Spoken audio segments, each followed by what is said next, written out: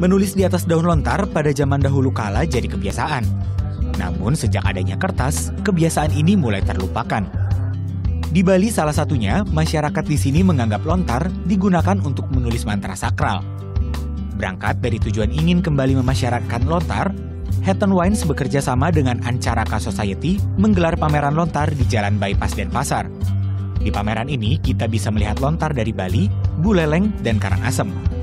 Lontar berisi cerita rakyat dari Lombok, kidung pujian untuk upacara keagamaan, sejarah, arsip pengobatan hingga lontar paling tua berisi dokumen kepemilikan tanah yang berasal dari tahun 1869. Ya untuk bisa mengetahui apa yang ingin disampaikan dari lontar ini, kita harus mengerti cara membaca aksara Bali. Karena itu di Bali sendiri mulai dari tingkat SD hingga S2 kita sudah bisa mengambil pelajaran mengenai aksara Bali untuk bisa mengetahui apa yang ingin disampaikan atau tertulis di lontar-lontar seperti ini.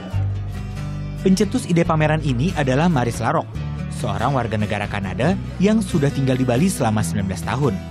Selama ini, lontar hanya dibiarkan tanpa pengolahan. But it's also important for visitors to be able to see them and understand them because it's part of Balinese culture and it's not, you know, the tourists, they see the ceremony in the street and the street is blocked and it's hot and we have to wait. Your culture here is not just about these ceremonies in the street and they have to wait in the car because somebody's passed.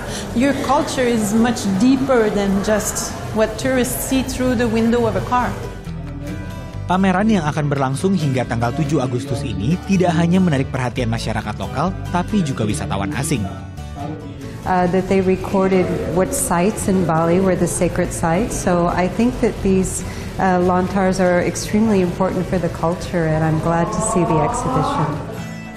Tak perlu khawatir jika kita ingin bertanya, karena di pameran ini pun kita dapat langsung bertemu dengan ahli aksara Bali yang akan menjadi pemandu dan menjelaskan perihal sejarah lontar.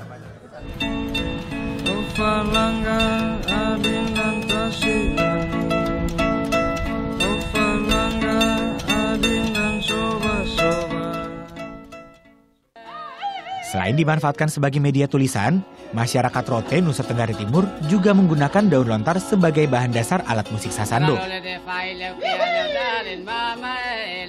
Lontar diselaraskan dengan bambu dan senar gitar. Unik karena bunyi yang dihasilkan dari sasando lebih merdu dan khas. Gita Natalia, Andi Setiawan melaporkan untuk NET.